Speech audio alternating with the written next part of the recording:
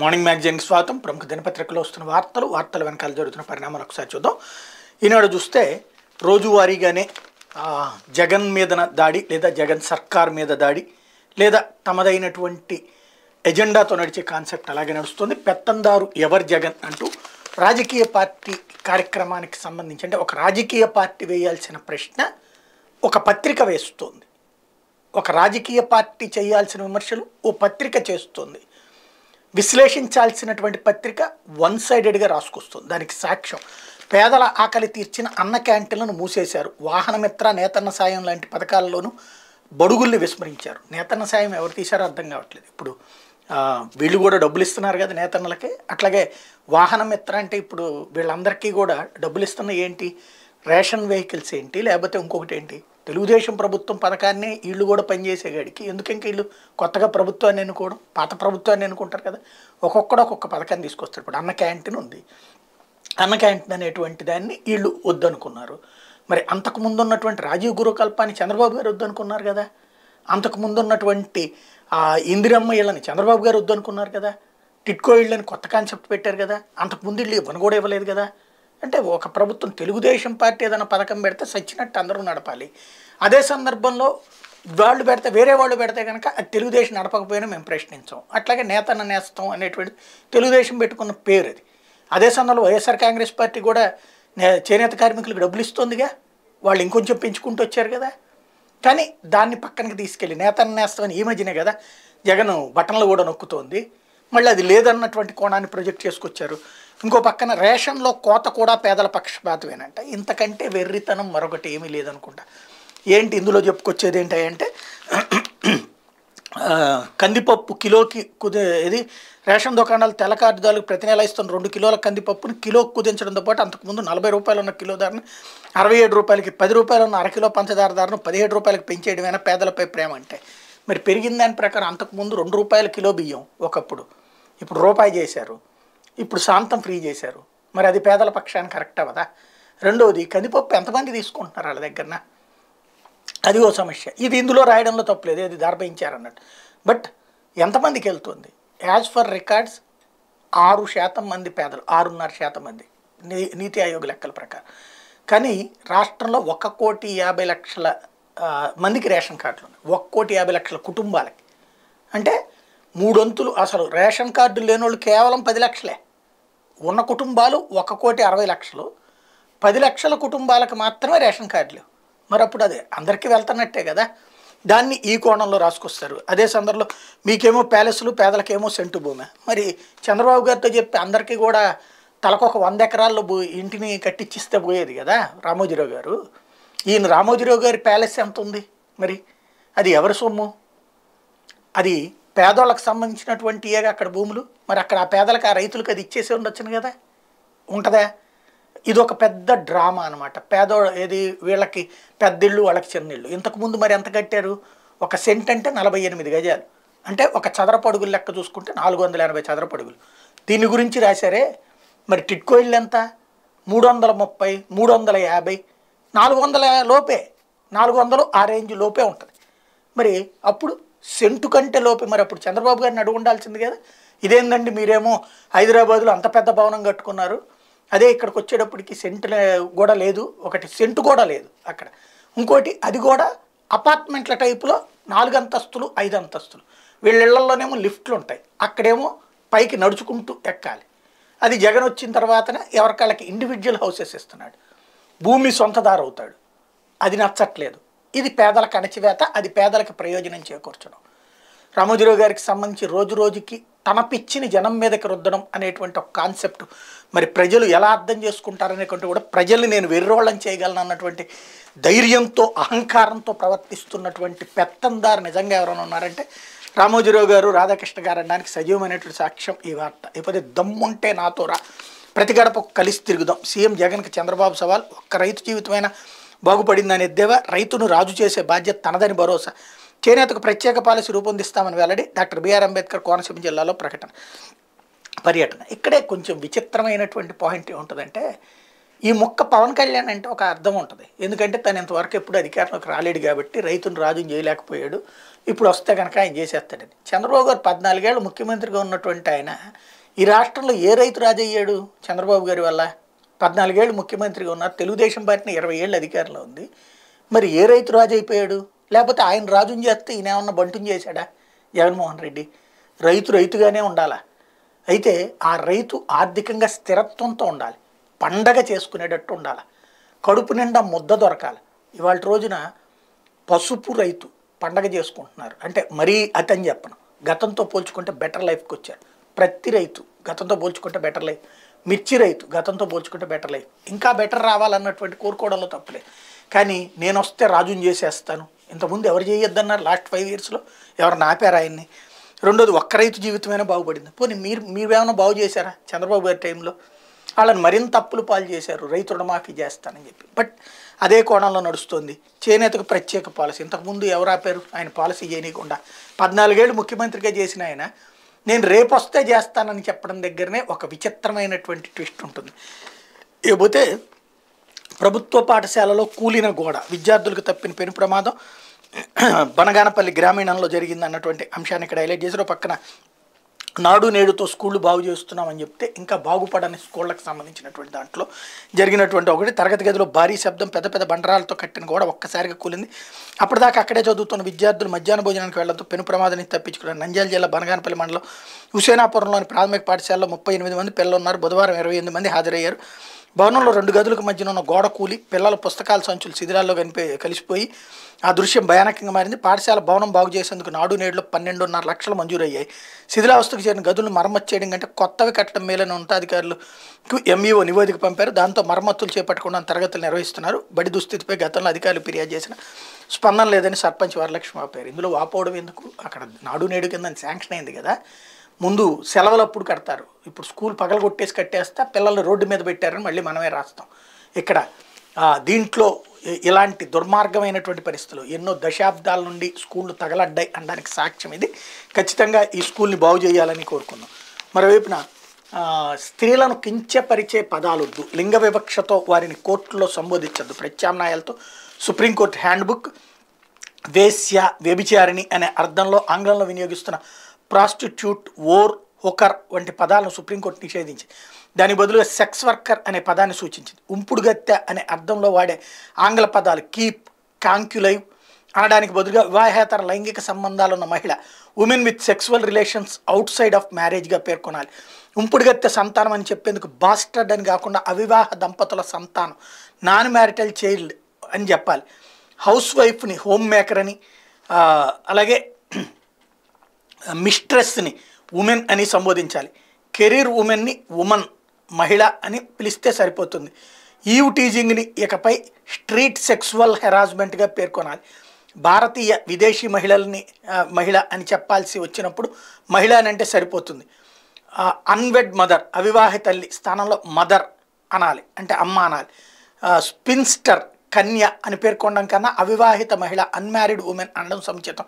ఇలా పలు పదాలకు ప్రత్యామ్నాయాన్ని సుప్రీంకోర్టు హ్యాండ్ బుక్ సూచించింది అన్నటువంటి వార్తని హైలైట్ చేస్తే చాలా మంచి ఆలోచన చాలా కాలం తర్వాత. లేకపోతే మరీ తప్పదనుకుంటేనే ప్రభుత్వ ఉద్యోగులకి సమన్లు సుప్రీంకోర్టుకు విధి విధానాలు సమర్పించిన కేంద్రం మన ఆంధ్ర తెలంగాణ కోర్టులకి ఇది బాగా వర్తిస్తుంది. ఈ మధ్యకాలంలో ఇంతకుముందు కూడా చాలాసార్లు చెప్పుకున్నాం రాజ్యాంగబద్ధమైనటువంటి పనులు ఎవరి కాళ్ళు చేయాలి?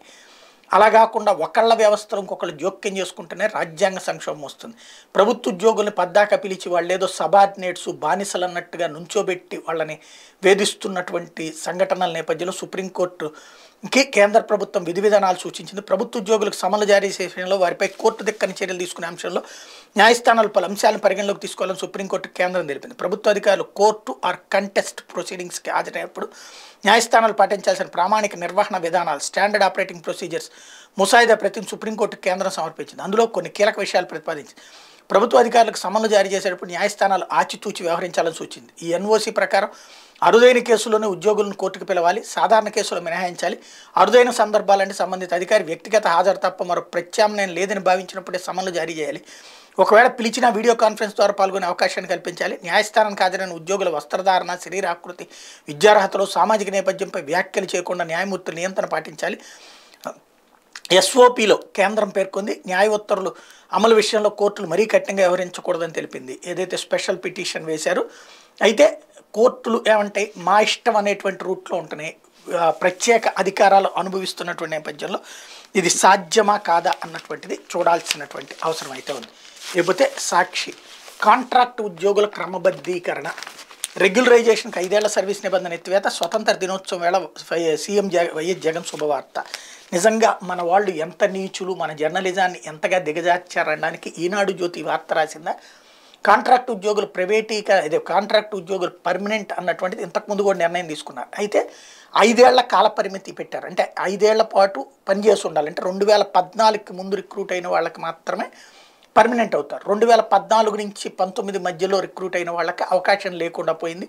దానివల్ల సఫర్ అవుతున్నారు. ఇది దాదాపుగా నేను లాస్ట్ మంత్ ఆ నిర్ణయం తీసుకున్నటువంటి సందర్భంలో కొంతమంది కాంట్రాక్ట్ ఉద్యోగులు నా దృష్టికి తీసుకొచ్చినప్పుడు నేను ప్రస్తావించినటువంటి అంశంలో అది అత్యంత కీలకమైనటువంటిది. వీడియో కూడా నేను చేస్తున్నాను ఇక్కడ ఆ కాంట్రాక్ట్ ఉద్యోగులకు సంబంధించి ఆ ఏజ్ తీసేసి పర్మనెంట్కి సంబంధించి అందరికీ ప్రొసీజర్ కంటిన్యూ చేయబోతుంటే ఆ విషయాన్ని సాక్షి మాత్రమే రాసుకోవాల్సి వచ్చింది. సామాజిక బాధ్యత సంగతి దేవుడెరుగు. ఇది వార్త కాదా?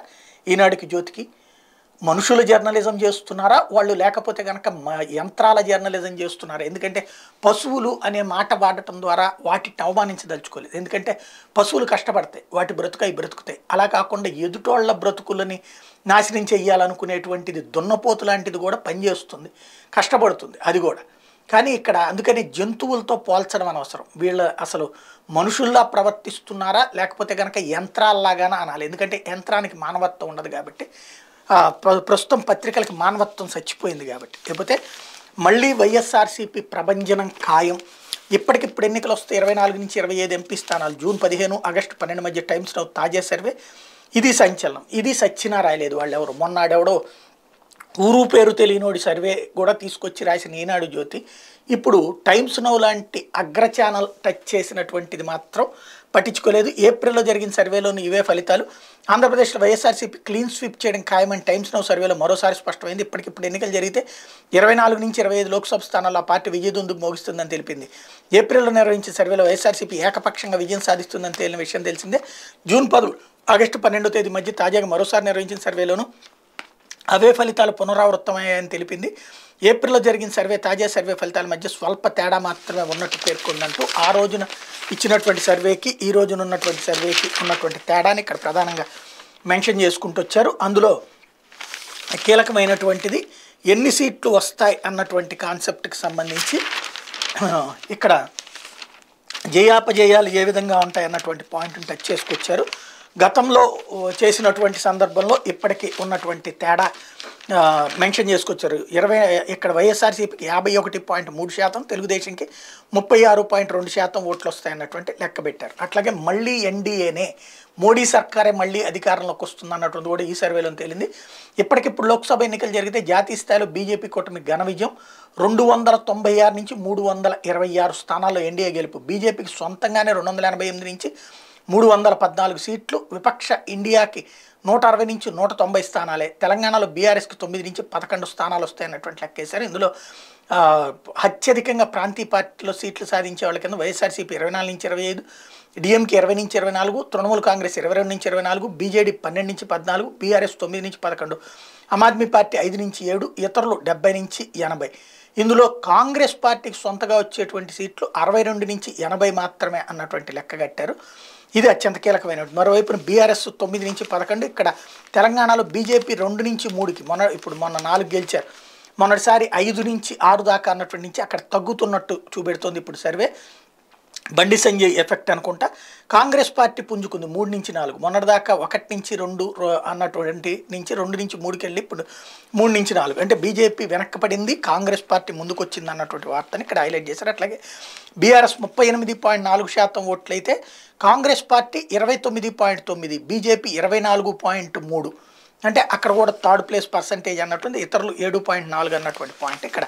ప్రధానంగా మెన్షన్ చేసినటువంటి పరిస్థితి. ఇకపోతే మరో ఫిషింగ్ హార్బర్ శ్రీకాకుళం జిల్లా మంచినీళ్ళపేటలో ఏర్పాటు కసరత్తు గతంలో అక్కడ ఫిష్ ల్యాండ్ సెంటర్ ఏర్పాటుకు సీఎం వైఎస్ జగన్ శంకుస్థాపన. స్థానిక మత్స్యకారుల అభ్యర్థనతో హార్బర్ నిర్మాణానికి గ్రీన్ సిగ్నల్ రాష్ట్రంలో పదవ హార్బర్ ఏర్పాటు కేంద్రానికి ప్రతిపాదనలు. కేంద్రం సూచనతో డిపిఆర్ కోసం ఏపీ మ్యారిటైమ్ బోర్డు కసరత్తు డిపిఆర్ తయారీకి ఆసక్తి గల సంస్థల నుంచి బిడ్డకు ఆహ్వానం. రాష్ట్రంలో ఇప్పటికే రెండు దశల్లో మూడు వేల ఐదు వందల ఇరవై పాయింట్ ఏడు కోట్లతో తొమ్మిది ఫిషింగ్ హార్బర్ల నిర్మాణం అన్నటువంటిది. ఇక్కడ మనకి విజను విజనరీ ఇట్లాంటి కాన్సెప్ట్లన్నింటిలో ఈ ఎందుకు రావో తెలియట్లేదు. పది ఫిషింగ్ హార్బర్లు మూడు పోర్ట్లు మైనర్ పోర్ట్లు అంటే చాలా పెద్ద ప్లానింగ్. భవిష్యత్తుకు సంబంధించి బోలెడంత ఉపాధి అవకాశాలకు సంబంధించినటువంటి అంశం. విద్య తక్కువ ఉన్న వాళ్ళకు కూడా ఉపాధి అవకాశాలు లభించేటువంటి అతిపెద్దదైనటువంటి అంశం. దాన్ని టచ్ చేయలేదు పత్రికలు. ఇక్కడ మనకి ఆంధ్రాలో పుట్టినటువంటి దరిద్రం శాపం అదే. లేకపోతే ఫ్యాక్ట్ చెక్ ఏదైతే రోజు ఈనాడులో ఇవాళ కథనాలు రెండో రోజుకి సాక్షులు రాసుకొస్తే తప్పించి లేనిది జర్నలిజాన్ని చంపేసుకుంటూ అబద్ధాలని అసూగా మాట్లాడుతున్నటువంటి వేళ వస్తున్నటువంటిది. అలవోకగా అబద్ధాలు రామోజీకే చెల్లు. సీఎం జగన్ స్వతంత్ర దినోత్సవ సందేశంపై అక్కసు కనీస విలువలకు పాత్ర అనైతిక కథనంతో దుష్ప్రచారం. మంత్రి పదవుల్లో ఎస్సీ ఎస్టీ బీసీ మైనార్టీలకు అరవై ఎనిమిది శాతం నిజం కాదా? నూట ముప్పై తొమ్మిది కులాలకు యాభై ఆరు కార్పొరేషన్ ద్వారా సామాజిక న్యాయం కనిపించదా? రెండు పాయింట్ మూడు మూడు లక్షల కోట్ల డీబీటీలో కులానికి లబ్ధి చేకూరలేదా?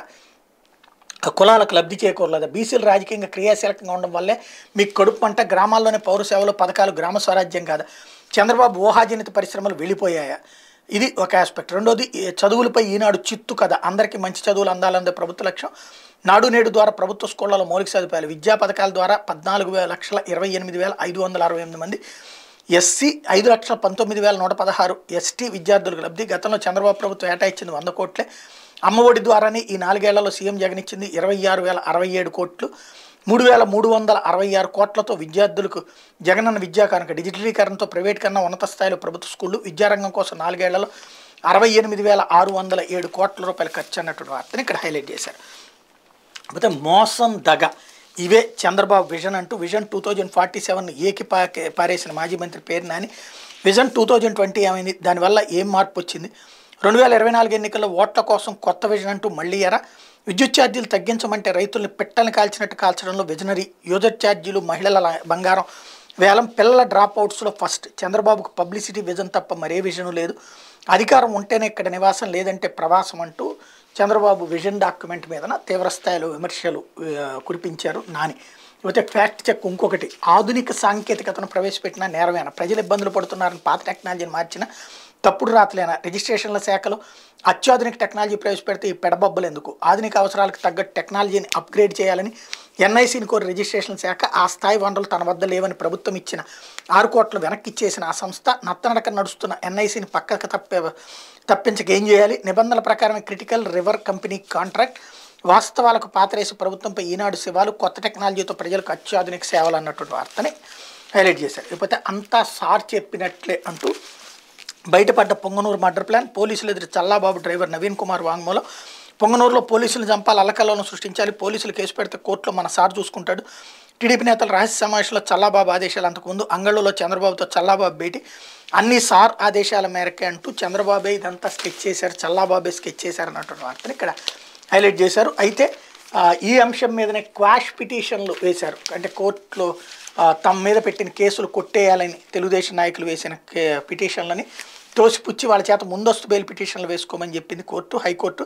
అనమయ్య జిల్లా అంగళ్ళలో వైఎస్ఆర్సీపీ కార్యకర్తలు పోలీసులపై టీడీపీ కార్యకర్తలు చేసిన అత్యాయత్నానికి సంబంధించిన నమోదైన కేసులు కొట్టేయాలని కోరుతూ పలు టీడీపీ నేతలు దాఖలు చేసిన పిటిషన్పై హైకోర్టు అభ్యంతరం వ్యక్తం చేసింది. CrPC section four thirty eight కింద ముందస్తు పిటిషన్ బెయిల్ పిటిషన్లు దాఖలు చేసుకోకుండా సెక్షన్ ఫోర్ ఎయిటీ టూ కింద క్వాష్ పిటిషన్లు దాఖలు చేయడం సరికాదని తేల్చెప్పింది. అంతేకాకుండా అత్యాయత్నం కింద కేసు నమోదు చేసిన నేపథ్యంలో సిఆర్పిసి సెక్షన్ ఫార్టీ వన్ కింద నోటీస్ జారీ చేయడం కూడా సాధ్యం కాదని స్పష్టం చేసింది. కేసును కొట్టేయాలని కోరుతూ టీడీపీ నేతలు దాఖలు చేసిన పిటిషన్ను ఉపసంహరించుకోవాలని కోరింది అన్నటువంటి వార్తని హైలైట్ చేశారు. మరోవైపు జీపీఎస్తో జీవిత భాగస్వామికి పెన్షన్. తాజాగా గవర్నర్ వద్దకు చేరిన జీపీఎస్ పత్రాలు ఆమోదముద్ర పడిన వెంటనే అమలు కార్యాచరణ లక్షలాది మంది సిపిఎస్ ఉద్యోగుల డిమాండ్ నెరవేర్చని ప్రభుత్వం రాష్ట్రంలో కాంట్రిబ్యూటరీ పెన్షన్ స్కీమ్ ఉద్యోగులకు మెరుగైన పెన్షన్ అందించేలా ప్రభుత్వం గ్యారంటీ పెన్షన్ స్కీమ్ తీసుకొస్తుంది. దీని ద్వారా పెన్షనర్ జీవిత భాగస్వామి కూడా పెన్షన్ లభించబోతుంది. రిటైర్ అయిన ఉద్యోగి చివరి నెల మూల వేతనంలో యాభై శాతం పెన్షన్ వచ్చేలా జీపీఎస్ను రూపొందించింది. ఒకవేళ జీపీఎస్ చందాదారుడు మరణిస్తే ఆయన ఆర్ ఆమె జీవిత భాగస్వామికి ఆర్థిక భరోసా ఉంటుంది. పదవి విరమణ చేసిన వ్యక్తి మరణిస్తే అప్పటి వరకు ఆ వ్యక్తి నెలవారీ అందుకున్న పెన్షన్లో అరవై శాతం జీవిత జీవిత భాగస్వామికి పెన్షన్ కింద అందబోతుంది. వీటితో పాటు ద్రవ్యోల్బణం ప్రభావాన్ని తగ్గించడానికి ఆ మేర కరువు భృతికి ముఖ్యంగా యాన్యుటీలో ఏమైనా లోటు ఏర్పడితే దాన్ని కూడా ప్రభుత్వమే భరించనుంది. తాజాగా ప్రభుత్వం జీపీఎస్ ఆమోదం కోసం గవర్నర్ వద్దకు పత్రాలు పంపించింది. ఆయన ఆమోద ముద్రపడిన వెంటనే దీని అమలుకు ఆర్డినెన్స్ తీసుకురాబోతుంది. ఈ మేరకు తమకు ఎటువంటి ఆర్థిక భద్రత లేని సిపిఎస్ను పునఃసమీక్షించాలని లక్షలాది మంది ఉద్యోగుల చిరకాల డిమాండ్ ప్రభుత్వం నెరవేర్చింది. పదవి విరమణ తర్వాత మేలైన ఆర్థిక భద్రతను అందించడంలో జీపీఎస్ దేశానికి ఆదర్శంగా నిలవబోతుంది అన్నటువంటి వార్తని హైలైట్ చేశారు. అయితే బ్యాంకు ఖాతాల్లో నుంచి డబ్బును అలా కాజేస్తున్నారు. ఆధార్కు అనుసంధానమైన వేలిముద్రల డూప్లికేట్. కస్టమర్ సర్వీస్ పాయింట్లో ఆ వేలిముద్రల స్కాన్.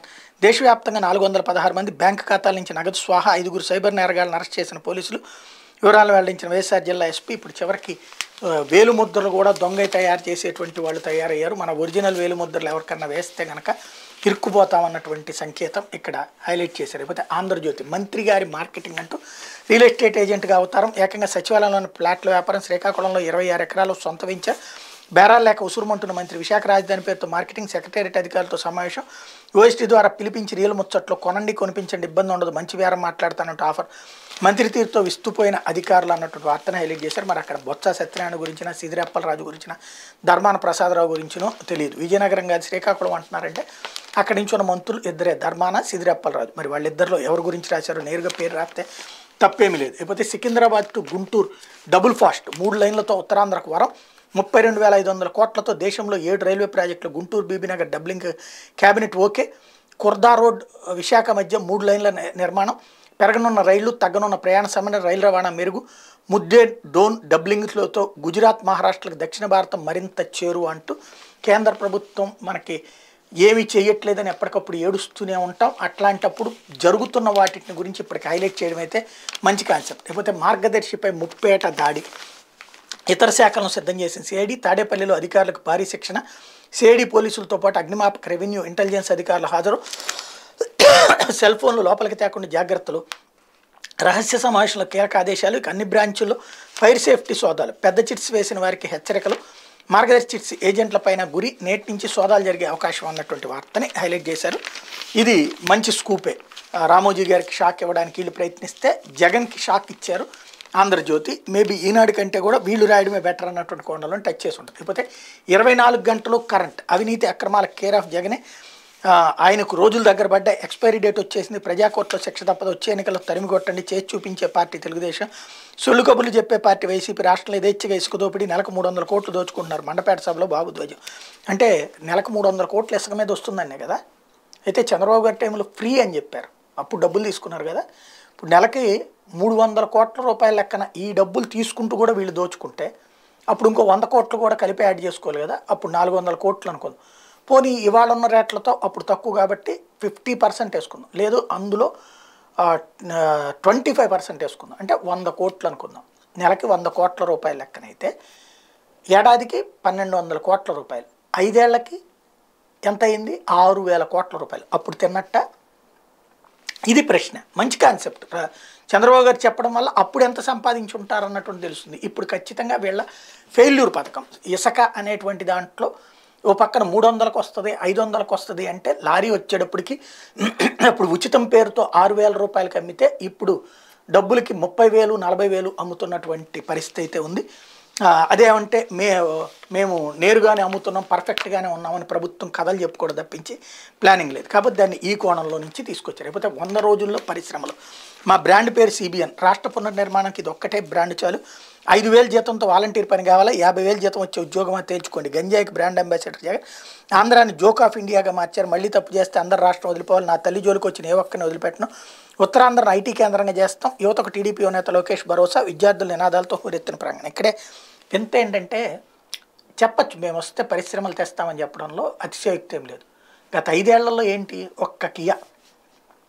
అదే సందర్భంలో ఇప్పుడు దాదాపుగా అప్పుడు కియా పేరు చెప్పుకుంటున్నాం. కానీ అప్పుడు కూడా కనీసం ఒక నాలుగైదు వందల కంపెనీలు వచ్చి ఉంటాయి. ఇప్పుడు వస్తున్నాయి. సరే అది వదిలేద్దాం. వంద రోజుల్లో ఇండస్ట్రీస్ వచ్చేయాలంటే ఒక ఇండస్ట్రీకి ముందు అనుమతులు ఇవ్వడానికే ఒక ఆరు నెలల నుంచి ఏడాది పడుతుంది. క్యాబినెట్ ప్లేసు సిస్టము అన్ని. వాళ్ళు వచ్చి ముందు నేల తయారు చేసుకోవాలి ఆ పైన ఆ బిల్డింగులు కట్టుకోవాలి ఆ పైన మిషనరీ తెచ్చుకోవాలి. ఇవన్నీ వంద రోజుల్లో అవుతాయా ప్రాక్టికల్గా? కొంచెం నమ్మదగ్గదిగా చెప్తే బాగుంటుంది. లోకేష్ గారు ఆవేశంలో కొంత ఇట్లాంటి తప్పు చేస్తున్నారు. మేము వస్తే కనుక రాబోయే ప్రతి ఏడాదికి ఇన్ని తెస్తాం అని చెప్పడంలో తప్పులేదు వంద రోజుల్లోనే పరిశ్రమలు వచ్చేస్తాయి అంటే అపనమ్మకంగా ఉంటుంది అదే సందర్భంలో పరిశ్రమలు రావట్లేదు అని చెప్పడం అనేది పచ్చి అబద్ధం. చంద్రబాబు ఉన్నప్పుడు వచ్చినాయి జగన్ ఉన్నప్పుడు వస్తున్నాయి. అప్పటికంటే ఇప్పుడు ఇంకో నాలుగు ఎక్కువ కూడా వచ్చినాయి. కాకపోతే వీళ్ళకి ప్రచారం చేసుకోవడం చేత కాదు అప్పుడు అప్పుడు కూడా ప్రచారం చేసుకోవడం చేతకలేదు ఒక్క కియానే చెప్పుకుంటారు ఇప్పటికి కూడా. అదే విచిత్రం. అంబానీ వచ్చి పెట్టుబడింది అదానీ వచ్చి పెట్టుబడి పెట్టింది జిందాల్ వచ్చి పెట్టుబడి పెట్టింది ఏంటి? హిందూజా వచ్చి పెట్టుబడి పెట్టింది ఏంటి? వాళ్ళందరూ దోచుకు తింటున్నారు దోచి పెడుతున్నాడు జగన్ అని రాసింది ఆంధ్రజ్యోతి ఏంటి? వాళ్ళే ఇక్కడ తీసుకొచ్చి ఇదే హెడ్డింగ్లు పెడతారు. ప్రజలు వెర్రోళ్ళని నమ్ముతుంటారు నమ్మిద్దాం అనుకుంటుంటారు. లేకపోతే కాపర్ డ్యామ్ కాలం తీరింది అంటే పోలవరం ప్రాజెక్టు కొత్త కష్టాలు జెట్ గ్రౌండింగ్ ఫిల్టర్ ఫిల్టర్ల పటుత్వం తగ్గింది. రెండు కాపర్ డ్యాముల నుంచి రోజుకు నూట అరవై క్యూసెక్కుల సీపేజీ జలాలు మోటార్లతో తోడేడివే మార్గం. కానీ భారీగా ఖర్చు అవుతుంది జలవనరుల శాఖ ఆందోళన కొత్త పిల్లర్లు వేయడానికి చాలా సమయం పట్టే అవకాశం. సాంకేతిక విధానాలపైన డయాఫ్రమ్ వాల్ గైడ్ బండ్ మరమ్మతులపైన కేంద్రం మౌనం. ఇది సమస్య. ఎవరు సృష్టించారు ఈ సమస్య? బిల్డింగ్ కడితే పర్ఫెక్ట్ కడితే కూలుతుందా? గోడలు కూలుతాయా? కానీ ఇక్కడ పర్ఫెక్ట్ కట్టందాన్ని అద్భుతం అని చెప్పి ఇప్పుడు అది కేంద్రం మౌనంగా ఉందంట. అసలు అడ్డదిడ్డంగా కట్టిన వాళ్ళు ఎవరు? దోచి పెట్టిన వాళ్ళు ఎవరు జనం సొమ్ముని? సర్వనాశనం చేసినోళ్ళు ఎవరు? తప్పు జరిగినప్పుడేం కేంద్రం మౌనం అంట? తప్పు చేసినోడి గురించి రాయి. ఇప్పుడు ఒక స్కూల్లో బిల్డింగ్ ఒక గోడ కూలింది. ఎన్నేళ్ళ క్రితం కట్టిన గోడ? ఎప్పుడో పది పాతిక సంవత్సరాల క్రితం కట్టినటువంటి గోడ. దాన్ని గురించి ఫ్రంట్ పేజీ హైలైట్ చేసుకొస్తారు అదే ఇక్కడికి వచ్చేటప్పటికి నిన్న కాక మొన్న జరిగినటువంటి ప్రభుత్వంలోనే కట్టింది కదా కాపర్ డ్యామ్ అంత వీక్గా అంత దరిద్రంగా ఎట్లా కట్టారు? అది అసలు లేనే లేదు. అలా కాకుండా దీంట్లో కేంద్రం మౌనంగా ఉందన్నటువంటి కోణంలో రాసుకొస్తారు. వీళ్ళకి ప్రజల్ని ఎలా పక్కదోవ పట్టించాలన్నటువంటి విషయంలో ప్రజల్ని ఎలా మోసం చేయొచ్చు అన్నటువంటి విషయంలో వీళ్ళకు ఉన్నంత పిహెచ్డి డిగ్రీలు ఇంకెవరికి ఉండవనుకుంటా? లేకపోతే నలభై ఎనిమిది గంటల డెడ్ లైన్ ఎర్రమట్టి దెబ్బల పరిరక్షణకు ప్రభుత్వం కార్యాచరణ ప్రకటించాలి. బఫర్ జోన్ ఏర్పాటు చేసి కంచె నిర్మించాలి. లేకుంటే ఎన్జీటీకి వెళ్తాం. కేంద్ర పర్యావరణ శాఖకు ఫిర్యాదు. వైసీపీ నేతలు ఆ ప్రాంతాన్ని ఆక్రమించి లేఅవుట్లు వేస్తున్నారు. వైసీపీ సలహాలు ఇచ్చే స్వామికి దెబ్బలకు ఎదురుగా కొండపై భూమి ఇచ్చారు. ప్రభుత్వమే రోడ్డు వేయిస్తుందంటూ పవన్ కళ్యాణ్ స్టేట్మెంట్. మరి రోడ్లు వేయకుండా దెబ్బల మధ్యలో ఉండి ఉట్టి దెబ్బలుగానే ఉంచుకుంటే రోడ్లు ఎట్లా ఉంటుంది ఇప్పుడు కొండపైకి ఆ పక్కనే ఉన్నటువంటి కొండలపైకి కూడా రోడ్లు వేసుకున్నారు కదా? ఇక్కడ పర్యావరణం పేరుతో ఎర్రమట్టి మట్టిగానే ఉండాలి. మధ్యలోంచి జనం ఎవడు వెళ్ళడానికి వీల్లేదంటే ఎట్లా ఉంటుంది? రోడ్లే వేయొద్దు అదేమంటే ఎన్జీటీ పద్దాక ప్రతిదానికి పర్యావరణం. పర్యావరణం పేరుతో అయితే పోలవరం ప్రాజెక్టు కట్టకూడదు పోతిరెడ్డిపాడు కట్టకూడదు అసలు ఏ ఇరిగేషన్ ప్రాజెక్టు కట్టకూడదు. పర్యావరణం అనేది అంటే ఒక సాకు అడ్డం పెట్టి. ఏంటయ్యా అంటే ఒక ప్రాంతానికి సంబంధించి అడవులు ఉన్నాయి అడవులు కొట్టద్దు. మరి అడవులు కొట్టకుండా అసలు భారతదేశంలోనే కాదు ప్రపంచంలో ఎక్కడైనా ప్రాజెక్ట్ వస్తే అడవుల్లో నుంచినే కదా నీళ్ళు వచ్చేటువంటిది? దానికి ప్రత్యామ్నాయం ఏంటంటే దాని బదులు మళ్ళీ గ్రీనరీ వస్తుంది అన్నటువంటి లెక్కే కడతారు. కానీ ఇక్కడ మనకు అది అవసరం లేదు అన్నటువంటి కోణమే నడుస్తుంది. లేకపోతే అవును ఎక్కువే తవ్వాం. ఋషికొండపై కోర్టులో సర్కారు ఒప్పుకోలు. అనుమతి కంటే మూడు పాయింట్ ఎనిమిది ఆరు ఎకరాల్లో తవ్వకాలు. ఏపీ పర్యాటక అభివృద్ధి సంస్థ అఫిడవిట్ కోర్టులో ఒప్పుకుని బయట మాత్రం యాగి మంత్రులు సలహాదారులు పచ్చి రూల్స్కి భిన్నంగా పర్మనెంట్ క్యాంప్ ఏరియా. ఇక్కడే వీళ్ళ డ్రామాలు అనేదానికి సాక్ష్యం. నిజం చెప్పారు అదే విషయాన్ని స్పష్టంగా కోర్టు ఆ కేంద్రం వేసిన కమిటీ కూడా చెప్పింది. బిల్డింగుల నిర్మాణానికి ఎంతైతే వీళ్ళు ముందు ఓ- ఓకే చేసుకున్నారో అంతకంటే తక్కువ బిల్డింగ్లే కట్టారు. మిగతాది రోడ్డు కోసం ఎక్కువ వెడల్పు చేశారు. ఎందుకు? పైకి వెళ్ళడానికి రోడ్డు కావాలి. ఆ రోడ్డునే వీళ్ళు బోడిగుండని మాట్లాడేది. రోడ్డు వేయాలంటే కొండ మీదకి ఎట్లాగా? పాక్కుంటూ వెళ్ళాలా? ఆ, ఇప్పుడు ఆ పక్కన ఉన్నటువంటి రామానాయుడు స్టూడియోకి పాక్కుంటూ వెళ్తున్నారా? అది కూడా మట్టి తవ్వినే కదా రోడ్డు వేసింది పైకి. అప్పుడు లేనిది ఇక్కడికి ఎందుకు వచ్చింది అంటే అంతే మా ఇష్టం మేము ప్రజల్ని తప్పుదో పట్టిస్తాం అడ్డకోలుగా వార్తలు రాస్తాం అలా రాయడం మా హక్కు. ప్రజలకి ఒకళ్ళ హయాంలో అద్భుతం రెండవ హయాంలో అనర్థం అని రాసేటువంటి వ్యవహారం మాదన్నటువంటి కోణంలోనే నడుస్తూ ఉంటుంది. అదే బుద్ధి ఇక సాగుతూనే ఉంటుంది. లేకపోతే పోలీసుల వైఖరి ఇలా ఉండబట్టే దర్యాప్తుపై బాధితులకు అనుమానాలు. హైకోర్టు ధర్మాసనం సీరియస్. డ్రైవర్ సుబ్రహ్మణ్యం హత్య కేసులో ముగిసిన వాదనలు తీర్పు రిజర్వ్. వైసీపీ ఎమ్మెల్సీ అనంతబాబు మాజీ డ్రైవర్ సుబ్రహ్మణ్యం హత్య విషయంలో సీసీటీవీ ఫుటేజ్లోని వ్యక్తుల భాగస్వామ్యం ఆయన ఉందా లేదా అనే వివరాలు RFSL regional forensic science laboratory నివేదిక ఆధారంగా అనుబంధ ఛార్జ్షీట్లో పేర్కొనకపోవడంపై హైకోర్టు అసంతృప్తి వ్యక్తం చేసింది. సింగిల్ జడ్జి ఆదేశాలకు అనుగుణంగా అనుబంధ ఛార్జ్షీట్ ఎందుకు వేయలేదని పోలీసులు ప్రశ్నించింది. పోలీసుల వైఖరి ఎలా ఉన్న కారణంగా నిష్పాక్షిక దర్యాప్తు జరగడానికి మృతుని తల్లిదండ్రులు సందేహం వ్యక్తం చేస్తున్నారని వ్యాఖ్యానించింది. ఇరవై వేల వాదనలు ముగియడంతో తీర్పు రిజర్వ్ చేస్తున్నట్టు ప్రకటించింది. ఈ కేసు సంబంధించి పోలీసులు అందజేసిన సీడీ ఫైల్ను సీల్ కవర్లో భద్రపరచాలని రిజిస్ట్రేషన్ ధర్మ రిజిస్ట్రీని ధర్మాసనం ఆదేశించింది. ఈ మేరకు హైకోర్టు న్యాయమూర్తి justice U Durgaprasad justice Venkata జ్యోతిర్మయలతో కూడిన ధర్మాసనం బుధవారం ఆదేశాలు ఇచ్చింది. తన కుమారి హత్య విషయంలో ఎమ్మెల్సీ అనంతబాబుపై కాకినాడ జిల్లా సర్పవరం పోలీసులు నమోదు చేసిన కేసు విచారణ సీబీఐకి అప్పగించాలని కోరుతూ డ్రైవర్ సుబ్రహ్మణ్యం తల్లిదండ్రులు వీధి నౌకరత్నం సత్యనారాయణ హైకోర్టును ఆశ్రయించారు. ఈ వ్యాజ్యంపై విచారణ జరిపిన సింగల్ జడ్జి దర్యాప్తును సీబీఐకి అప్పగించేందుకు నిరాకరిస్తూ ఏడాది జనవరిలో తీర్పిచ్చారు. కేసు దర్యాప్తును వేగంగా పూర్తి చేసి మూడు నెలల్లో ట్రయల్ కోర్టులో ఫైనల్ ఛార్జ్షీట్ దాఖలు చేయాలని పోలీసులను ఆదేశించారు.